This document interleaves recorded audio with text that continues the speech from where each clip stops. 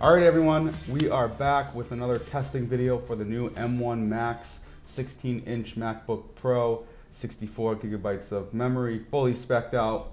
And we're gonna put it up against this desktop here that I spent a lot of money on earlier this year to get the best parts I could. It's got an RTX 3090, a AMD Ryzen 9 5950X 16 core chip, 128 gigabytes of RAM, and it's just intended to be the edit anything time saving machine.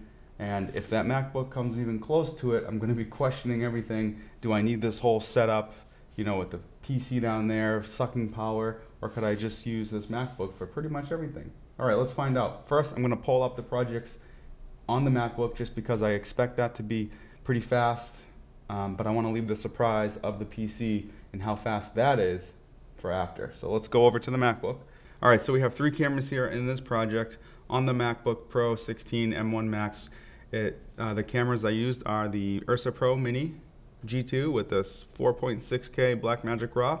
We have 4K ProRes from the Blackmagic 6K Pro. And then we have more B-roll with the Canon C70 at 4K and maybe some 2K footage. All of it is color graded. This is a finished project that I've exported and it's been done for a little while now. So we're going to see how well it scrubs on the MacBook. This is DaVinci Resolve on the M1 Max. And I actually, for this test, unlike yesterday, I turned uh, smart rendering off. So there's no render cache at all and we're in full resolution timeline mode. So this is no, there's, there's no help from pre-rendering here. I mean, scrubbing, I can go through everything with no issue, which I kind of expected. I think the real surprise will be the render times versus these two computers. And then let's just try playback.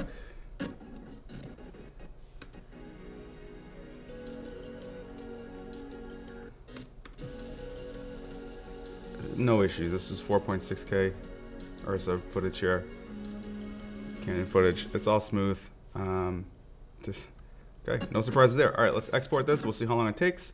And then I'll pull up a Premiere Pro project real quick while I'm on the Mac. All right, so I actually have my prior export, which I did. I don't know which computer I did this on. We'll ignore those results because it might be this big computer here. So we'll just clear that out.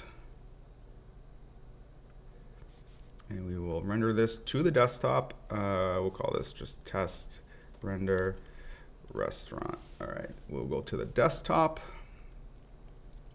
As far as my render settings go, it's MP4, H.264, 1920 by 1080p, uh, 23.96 frames a second. All the clips, by the way, are either 60 frames or 24 frames.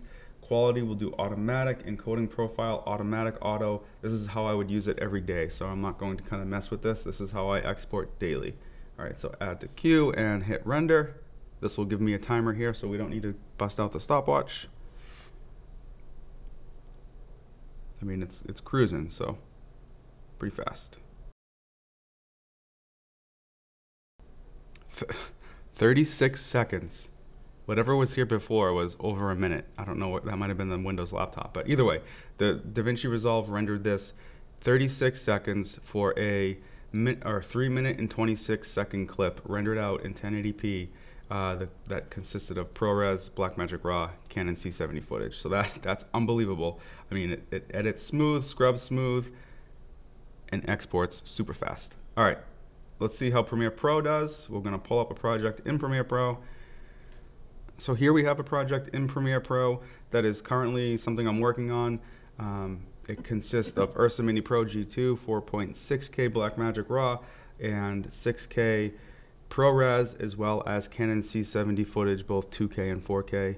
Lastly, we also have drone footage, 5.4K, 10-bit from the Air 2S. So I want to see how it scrubs with and without film grain. I want to try a warp stabilizer real quick on just one quick clip and kind of see how it how it scrubs and how it how it plays back. So and how it exports, of course. So let's go ahead and this is the clip I think I need to stabilize. It's kind of shaky. It's hand handheld. Um, so let's just go ahead and, and apply warp stabilizer. And I'm going to do, uh, it's cruising right along. Wow, okay. and it is done. So that was like five, ten seconds maybe tops. And let's go ahead and change the motion to no motion, so it's kind of like a tripod shot. Flawless. That that was way quicker than I expected. One thing I like about Resolve is that the stabilization. Uh, first of all, you don't have to drag an effect. You just kind of click it over here, and it stabilizes super accurately and quick. Um, but that's impressive. In Premiere Pro, it's also acting pretty quick with the stabilizer. So let's go ahead, and by the way, we have film grain on. Let's scrub. No dropped frames. We're going through an interview. Just interview footage here, graded. Some ungraded footage in here too, but that's because this is not a finished project. I mean, it's going between everything pretty smoothly.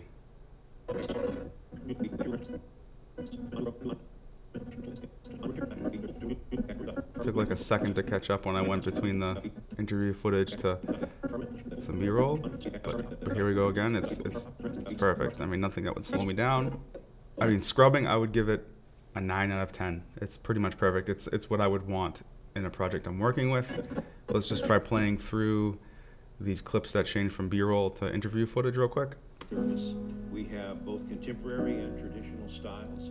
We manufacture our own jewelry on premises. We've got a full shop with uh, two goldsmiths in our basement, and uh, we have an. Playback is good.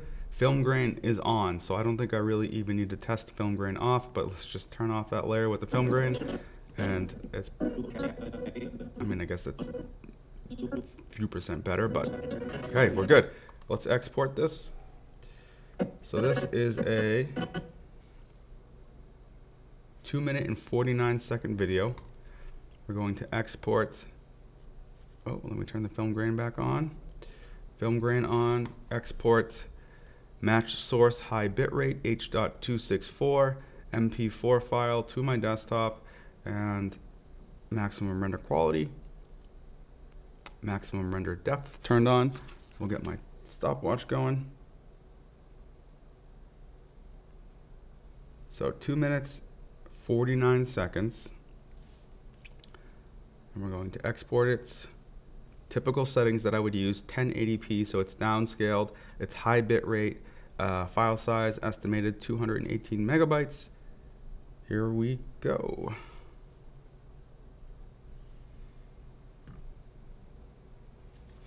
Jesus, it says 30 seconds estimated.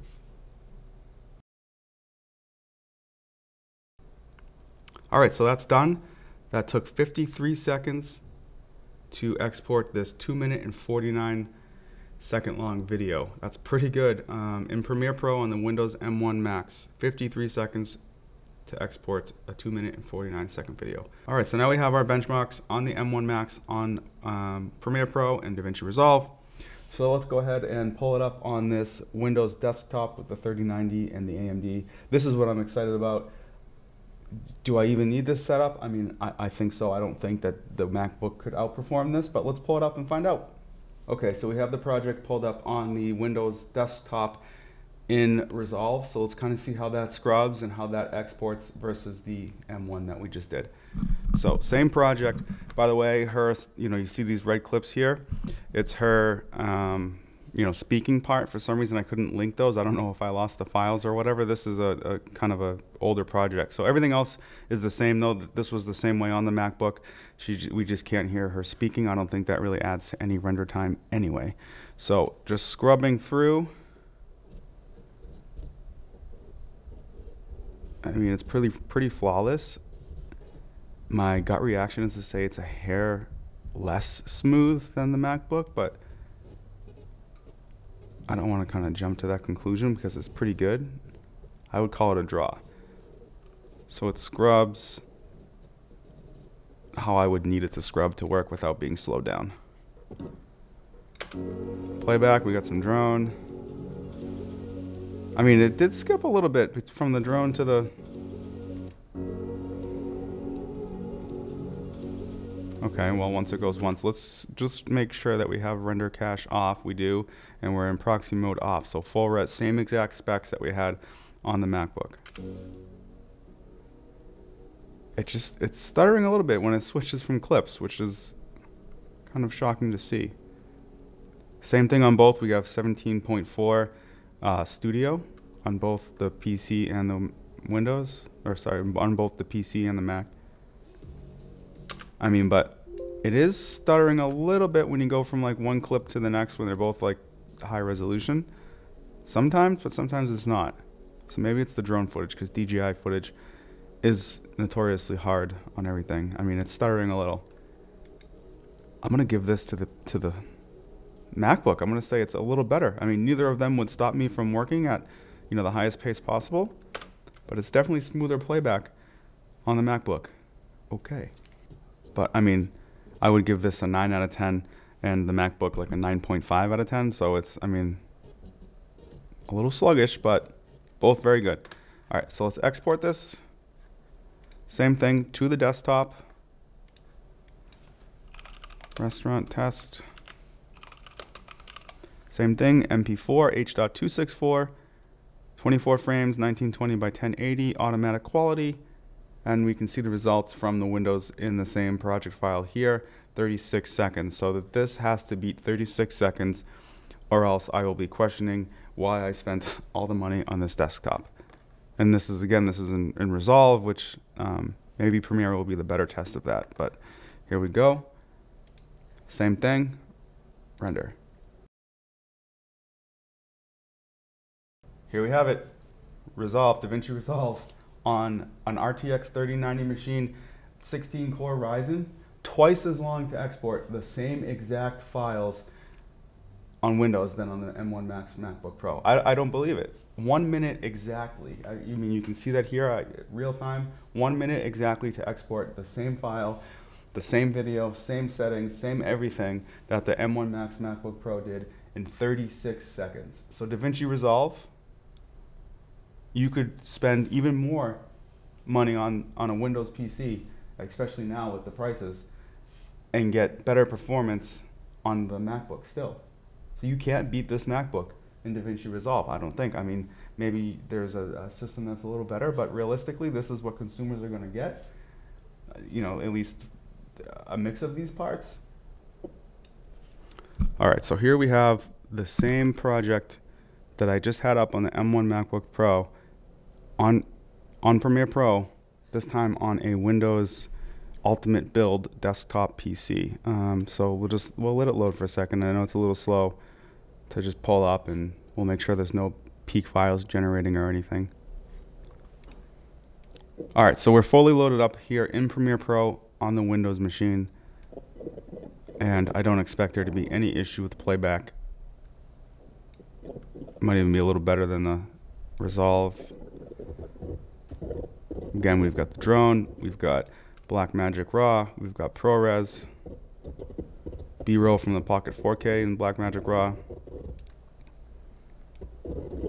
scrubbing performance, just as expected very smooth. The same sort of like micro glitches when you go from clip to clip sometimes, but not really. I'm gonna call it a tie on timeline scrubbing on the Windows machine and the MacBook, which is shocking in itself compared, you know, when you compare the, what the specs are of these, but it's a draw on playback in the timeline. So let's do that quick, let's do that quick warp stabilization on the, the clip here. We'll see how fast it was. Remember, it was um, about five, maybe 10 seconds in Premiere Pro. So we're gonna take it off of here.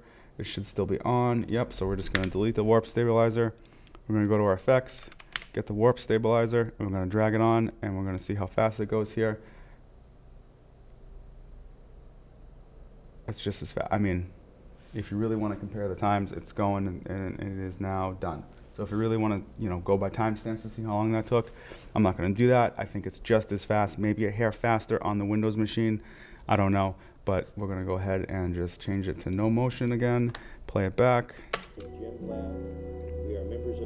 It's good. So, all right. So I think so far, all in all, we're on, on pace with the MacBook Pro with the Windows PC desktop.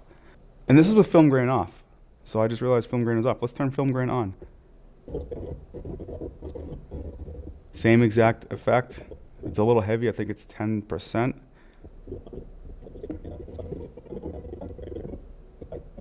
still playing back, but any edge that it had versus the MacBook when MacBook when the MacBook had film grain on is gone. I'm gonna call it a tie. Let's play back. Selection, um, which is uh, previously owned uh, business. Uh, we do appraisal work. We have an accredited gem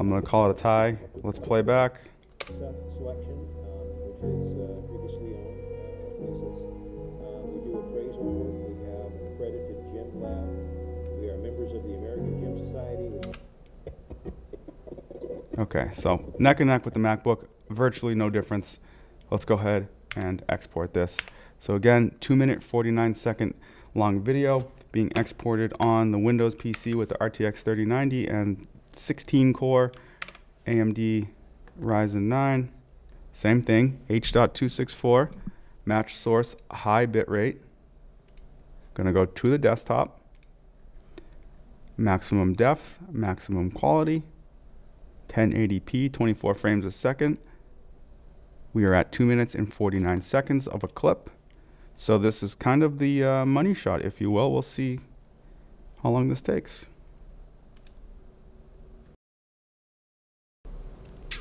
It's going to lose.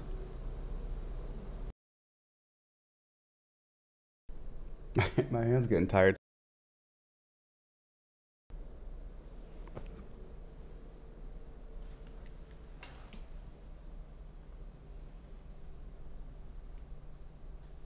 Come on, Cannon.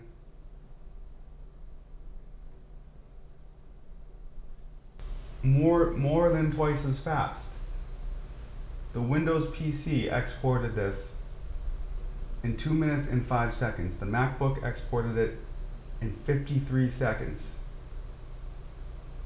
So now that this machine that I just spent unheard of amounts of money on the 3090 and kind of built it up over a few weeks or probably even a few months is is outdated by a MacBook Pro that's like one tenth the size and power consumption. 53 seconds for the Premiere MacBook Pro export, two minutes and five seconds for the Premiere Pro Windows export. Again, just to sum it up, DaVinci Resolve, which isn't too shocking, better on the MacBook.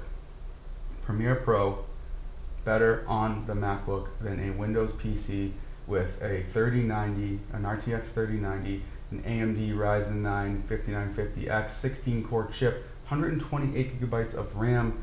Um, I don't even want to count up the dollars I spent on this thing, but it is now outdated by a, a laptop that costs less and can be basically portable as heck. I mean, all right, that's it. That's the result. I mean, we're starting to see these videos come out with Premiere Pro performing, outperforming Final Cut Pro. Even if you check out Scott McKenna's video, he did a good one where he compared uh, Final Cut Pro to Premiere Pro on an M1, and it was faster in Premiere Pro. Premiere Pro is faster on a MacBook M1 Max than a beastly Windows PC that I spent tons of money on what, what world are we living in now where Premiere Pro is one of the fastest machines? I don't know what magic they worked with Apple to kind of get this optimized, if you will. But there you have it. I guess I'm going to be doing most of my work on the MacBook Pro. I'll still use this. I mean, I spent way too much money to sell it. I'll, I'll probably lose money. I'll use it for, for gaming or if I just, because it has like a sound card and um, it just, I don't have to worry about it being plugged in. So I'll still use it, I guess, from time to time. But if I don't want to sit here on this desk, or if I just want to sit somewhere else, the MacBook's going to give me a better experience. Okay, there you have it. All right, so if you want me to test it, I mean, at this point, I don't think I really need to do much more testing. I'm sure I could load up a timeline with more effects, um, but honestly, as far as my workflow goes, I've tested what I think I need to test, and the MacBook's better. I'll be using the MacBook over the next few months. Uh, everyday, day-to-day stuff. So if anything changes, I'll kind of post uh, a video about it. And if I can think of any other tests to do, I will do that, but leave me a message in the comments if there's anything else that you want to see exactly. Happy to make a video. Give me a subscribe, and then uh, that way you'll be informed if I post anything about the MacBook. But that, that I mean, that's that. Thanks for watching, and we'll see you in the next one.